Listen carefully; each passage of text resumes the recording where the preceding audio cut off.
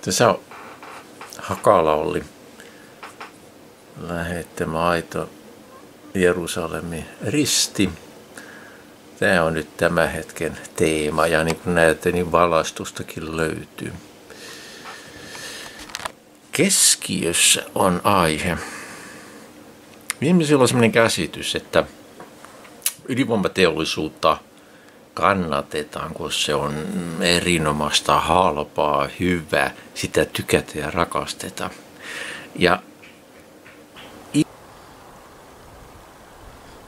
Tämä on jotenkin ihan kars, karmeva tieto tämä, että siis edes ydinvoimateollisuus, omat herrat, ei ole lainkaan näitä omilta myrkytänsä turvassa. Mä yritän tehdä ulkonakin tätä videoa, mutta ei oikein tahdo onnistu. Tämä on nyt niin paljon sata ja kamerat ei tykkää yhtään sateesta. Mutta tosiaankin niin ihmisiten tämmöinen luulo, että ydinvoimateollisuutta kannatetaan sen takia, kun nämä herrat kannattaa, niin tämä on aivan bullshittia. Se on uskomatonta, että nämä herrat siinä vaiheessa, kun ne saa tosiaan näitä omia, omista myrkyistänsä näitä myrkytyksiä ja sairastu, niin kyllä ne vaan oivalta ja sanoo vaan ihan suoraan, että tämä on ihan, ihan helvetin kuolua tämä ydinvoimateollisuus. Näitä on... Ihmiset luulee, että esimerkiksi niin ydinvoimateollisuuden nämä johtajat, niin ne todella rakastavat tätä ydinvoimaa.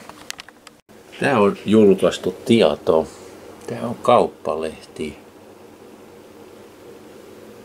9.11. Fortumin Tapio Kuula on kuollut.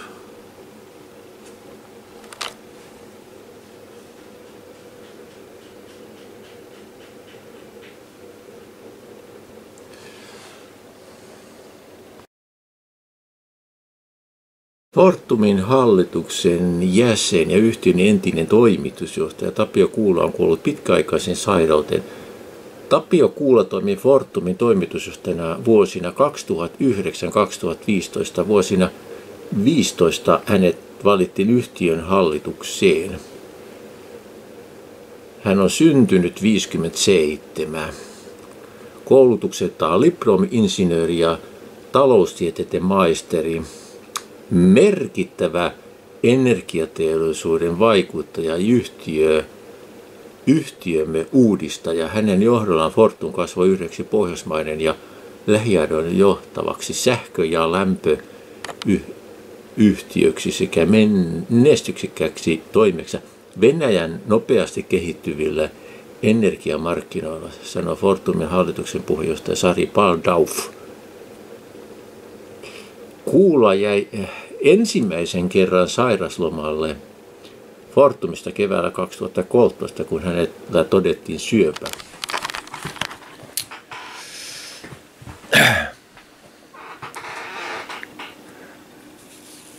paljon näitä herroja, mutta siitä huolimatta ei lainkaan anneta. Ja siellä on, koko se idea onkin se, että ydinvoimateollisuuden kannatus ei perustukaan näihin ydinvoimateollisuuden omiin johtajiin, heidän mielipiteisiin siinä mielessä, että ne olisivat mitenkään vankkumattomia kannattajia. Onhan siellä tämmöisiä hysteerisiä kannattajia, niin kuin Lilius, Fortumi, Raunomokka, TV, tämmöisiä psykopaatteja.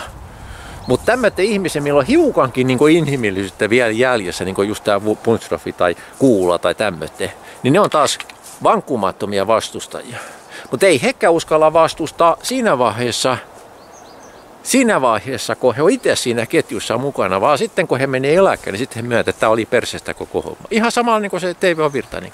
Näitä on vaikka kuinka paljon tämmöisiä esimerkkejä.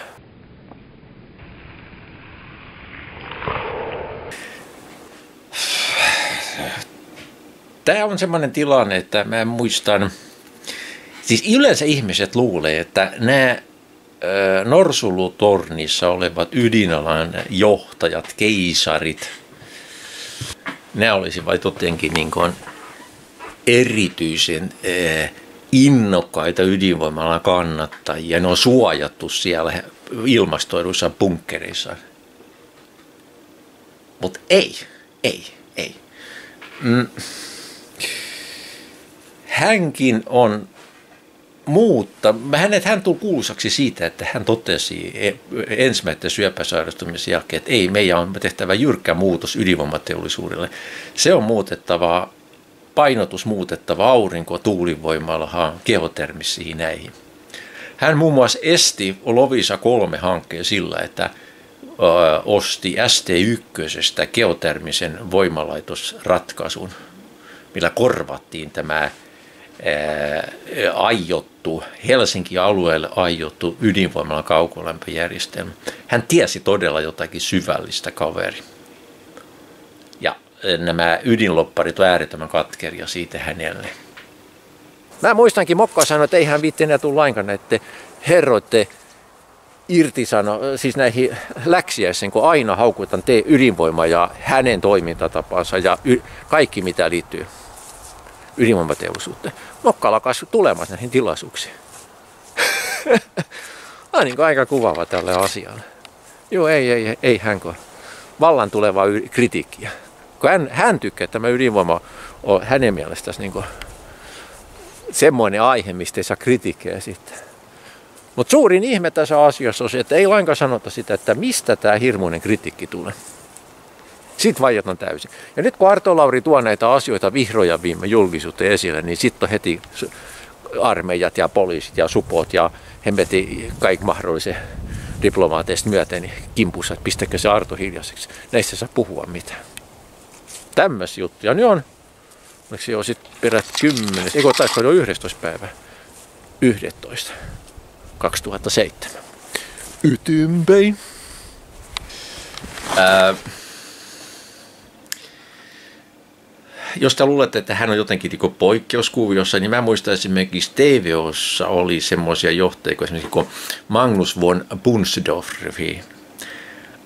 Hän oli koko ikänsä TVOn ihan siellä 70-luvulta lähtien TVOssa mukana, aivan kärki nimi ja koko aika lähtiessään, kun hän lähti virasta, niin sanottiin, että hän peittelemättä suoraan sanoi, että hänen suurin elämän virheensä oli se, että hän tuli ydinvoimateollisuuden palvelukseen. Hän katui sitä koko loppuikänsä. Sanoi, että, että kyllä täytyy olla parempia ratkaisumalla ja energiahuolto kuin tämmöinen vaarallinen ydinvoimateollisuus. Hän todella tiesi, jälleen kerran.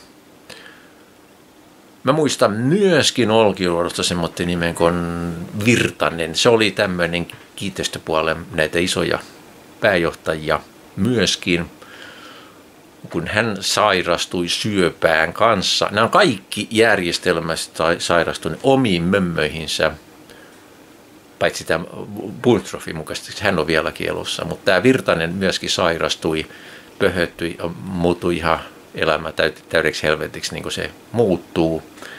Ja hän sanoi, että sama juttu, että että hänellä ei ole mitään kehuttavaa tästä ydinvoimateollisuudesta. Hän haukui koko TVn toimin aivan lyttyyn. Äärimmäisen synkkiä juttuja. Näistä puhutaan äärettömän vähän. Ihmiset tosiaan luulen, että ne pomot, mikä siellä näitä ydinvoimaloita loppaa, niin ne rakastaa sitä ydinvoimaa. He ei todellakaan rakasta. Ja tässä se outous onkin että jos ei ydinvoimateollisuus pysty suojamaan norsulutorneissa suojatuissa punkkereissa olevia toimitusjohtajia, pääjohtajia, niin miten he pystyvät suojaamaan siltä ydinvoimalalta omaa kansa tai lapsiansa?